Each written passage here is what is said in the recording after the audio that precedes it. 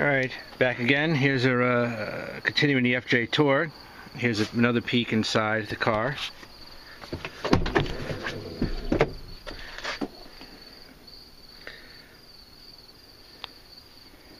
Another thing this uh, comes with, in the automatic models you get the uh, cup holders with the inserts for a smaller coffee cup. Auxiliary USB it's a mini and a USB input behind there. Cigarette lighter power adapter. Compartment here. I've upgraded as you can see well it's still daylight but all the interior lights are LED I changed out the uh, factory lamps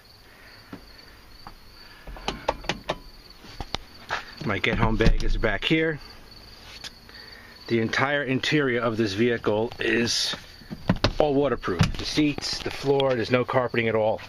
All completely rubber. There, uh, there's a subwoofer plus uh, six speakers in the door. The dash, and if you can see them back there in the rear.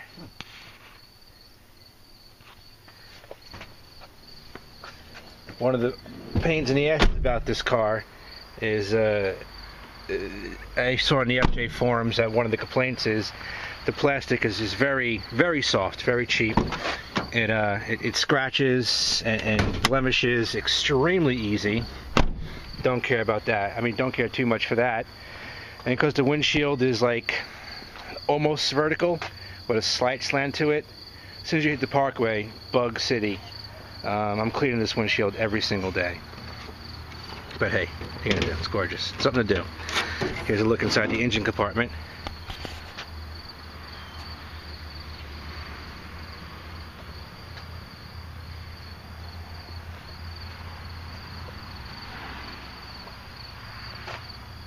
So new and clean.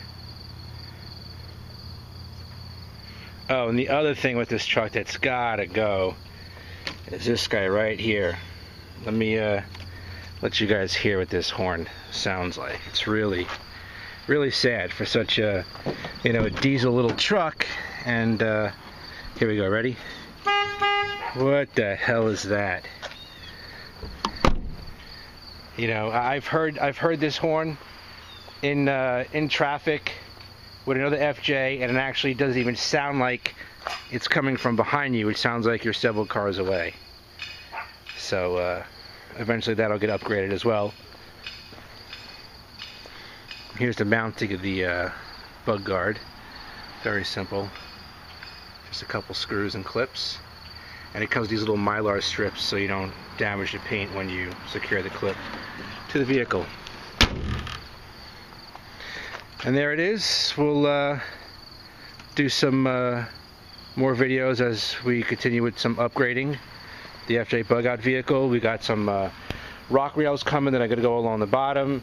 Other mil spec uh, springtail impact pouches. And then we'll eventually do a uh, bullnose push bar in the front. And uh, that's it. And then we got these cool, pointless, just little marker lights on the uh, side view mirrors that kind of go on when uh, you put the headlights on. They really don't do anything else but just light up and look cool and those eventually get changed to, will get changed to LED and then uh, the rear plate light is also going to be changed. To LED I've got that coming as well. Up, oh and last but not least we got the uh, cool muffler tip on it. Just kind of jazzes it up a bit it gets dirty extremely quick but it gives me something to do and wipe the uh, beautiful FJ down. So that's it guys. There's GFJ. And I'll be back shortly with some more videos. And we could also talk about, uh, you know, what I'm actually putting into these pouches that I installed on the rear of it. Soon. It'll kind of lighten up the get home bag. And uh, talk to everybody soon.